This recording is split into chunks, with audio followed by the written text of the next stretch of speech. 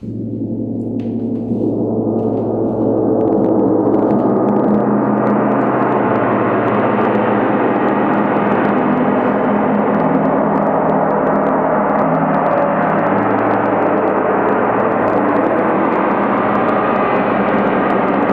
Alice Tobin. This is my energy center, and I typically do a gong bath here once a week.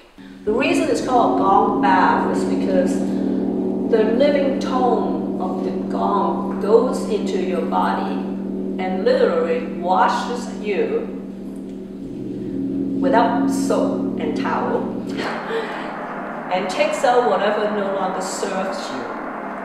Takes it out and at the end you feel either relaxed or you're energized or your pain is gone or whatever burden that you don't even realize had.